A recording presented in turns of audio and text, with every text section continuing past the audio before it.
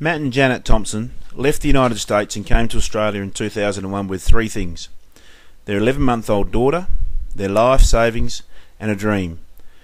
The dream was to build their own business, a beef cattle feedlot, something both had worked hard for all their lives.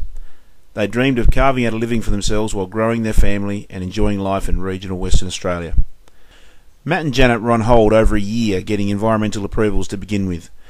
They were approved to build a 15,000 head feedlot four and a half kilometres south of the Narrogin town site in a rural zoning. The Thompsons then proceeded to build the feedlot to 10,000 head capacity, hired upwards of 20 full-time equivalent employees, and purchased close to 10 million worth of inputs annually, mostly from locals. When they applied to operate the final stage of development, up to 15,000 head of cattle as originally planned and approved, and with the ongoing support of local government and local people, the State's Department Environment changed the rules of the game. Because of a vocal minority, fewer than 20, complaining about odour, the DEC increased licence conditions from 8 to a draconian 33 and limited throughput to 6,000 head. And the Thompsons told regulators on numerous occasions that they could not cash flow the investment at the reduced occupancy rate. The same government department that had given them approval in 2002 shut them down anyway. The business now lies empty and quiet. No employees, no economic activity, and no end to their battle in sight. Matt and Janet owe millions of dollars to good people who trusted them enough to do business with them. Their family of employees are scattered, with one family breakup and another suicide. Creditors, including local farmers and businesses, are hurting from the unpaid invoices. The Thompson family, now four children strong, all Australian citizens, risk losing their home, their vehicles, and their freedom to do business in future. The dream has turned into a nightmare. In their own words, here is Matt and Janet's story. It is our hope that our story will shed some light on the true scope of the problem with environmental extremism, greenhouse gas abatement measures, and the erosion of private property and free speech rights. We immigrated from the United States to Western Australia after purchasing land in 2001 for the sole purpose of building a beef cattle feedlot south of the regional wheat belt town of Narrogin, two and a quarter hours inland from Perth. Since childhood we had dreamed of coming to Australia. We came with our own life savings and hope for our future in the obviously wonderful country of Australia. There was opportunity in the wheat belt of Western Australia.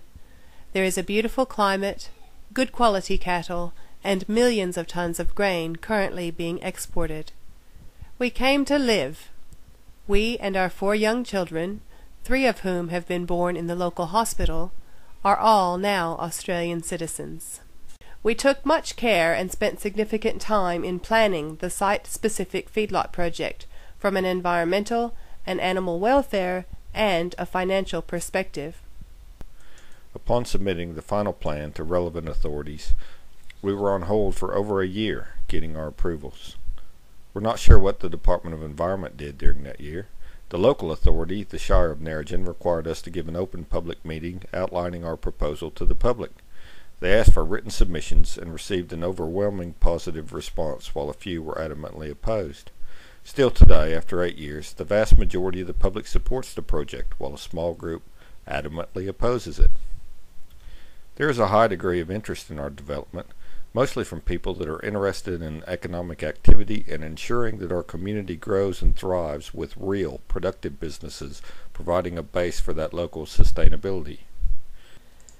The first post went into the ground at Narrogin Beef Producers in February of 2003, and the first cattle went on feed in June of that year. The concept proved to work very well in our location and climate, and the facility and business expanded to a holding capacity of 10,000 head of cattle.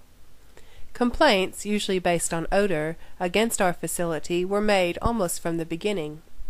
There is a 12,000 head intensive piggery directly adjacent to our property, which had been there for 20 years, and about which this same group of complainants had bitterly complained prior to our purchase. In July of 2007, we presented our plans for the final stage of development up to the originally planned and approved 15,000 head to an open public meeting attended by 120 people. We were given a rousing ovation. As president of the WA Lot Feeders Association, I attended a meeting on the 17th of May 2007 between environmental departments, environmental groups, and industry to discuss transitioning the National Pollutant Inventory or NPI system to the National Environmental Protection Measures or NEPM system and including so-called greenhouse gases in the required reporting regime. The meeting was supposed to be an open forum on this topic. At this meeting, I questioned the inclusion of greenhouse gases in the new reporting and expressed doubt about the entire theory of anthropogenic global warming. I handed out copies of the Great Global Warming Swindle DVD, as well as papers from the Lavoisier Group to support my assertions. I did not expect those that convened the meeting to agree, or even the majority in attendance to necessarily agree with my point of view.